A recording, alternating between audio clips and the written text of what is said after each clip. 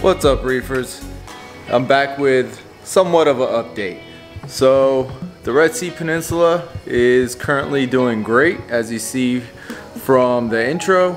All the corals are nicely growing and I'll have a future update coming up for this one. I was hoping to have an update now um, for this but it turned out the calc reactor that I bought unfortunately doesn't fit this tank. Um, at least with the current setup. So I'm trying to work around it, possibly get a small cabinet to go beside it so I can run a doser and a calc reactor uh, inside the cabinet. But today's update is going to be for uh, about a new addition to the tank collection. So I uh, decided recently that I want to run a small nano tank. Um, not sure exactly where, uh, possibly the bedroom, possibly in the dining room. It's still, uh, I gotta put it together and see how it, where exactly I want it, and of course, um, get the wife's opinion as well, see where she wants it. But um, I ended up getting a Red Sea Max 20 gallon nano aquarium. So this baby just came in today and um, I just got to put it together and figure out where I want it. I already got the sand for it. I got the rocks. Once I get this thing together, I can figure out how I want the rock structure to look and start putting that together and get this baby running and uh, the cycle process going. So for this guy, I'm gonna end up putting in the two clowns I have uh, currently in my frag tank right above the sump under the peninsula. And um, as well as another surprise fish that's currently, that has been in there um, and currently uh, trying to grow out. And I'll fill you in on future plans for that fish and future plans for additional tanks but that's for another that's for another time for today we're gonna get uh, started putting this thing together and see what it looks like all put together and uh, go from there.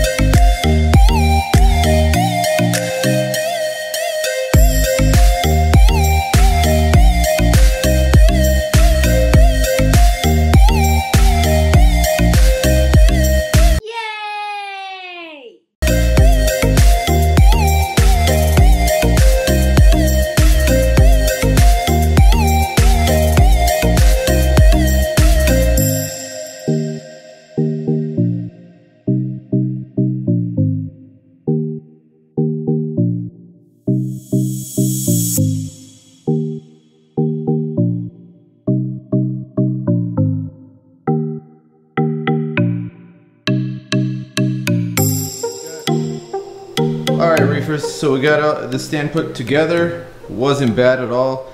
I'd probably say around 45 minutes or so to put it together. Um, it's definitely a solid stand. Red Sea definitely does a great job with their tanks. I love the Peninsula, that's why I decided to go with another Red Sea tank. Um, the stand is solid and heavy for a 20 gallon tank. Uh, looks great modern and sleek like the Peninsula one. Um, definitely, definitely high quality stuff. So I'm, I'm definitely, I'm definitely impressed. But now that you see it all put together, let's unpackage the tank and get it on here and see what it looks like on top of this thing.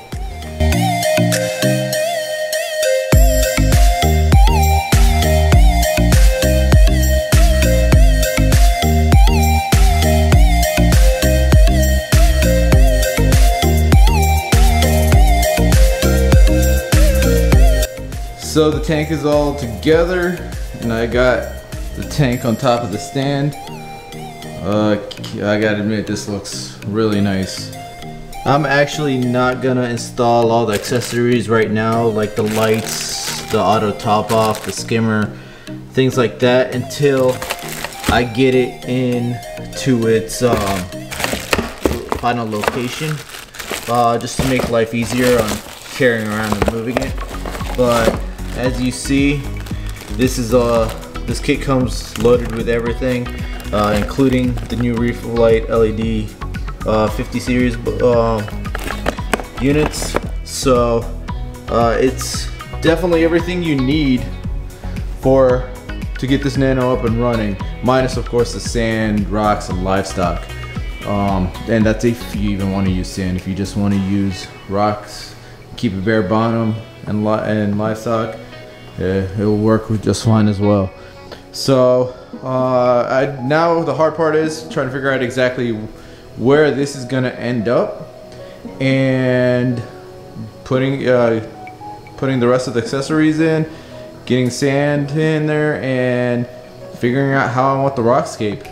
But that's it for today's video. Um, hope you guys enjoyed it. Hope you guys like the new tank. Um, I'm definitely excited to get it going and get it cycled and getting those clowns in there as well as the surprise fish. Um, hopefully, well, it's definitely not going to be soon before the fish get in here, but hopefully the sand and rocks are in soon, um, as well as uh, getting the cycling started. I'm hoping it would happen real soon. But I'll keep you guys updated. Thanks for watching. Thanks for the support. Uh, please like and subscribe if you're not already subscribed. And I'll see you guys next time.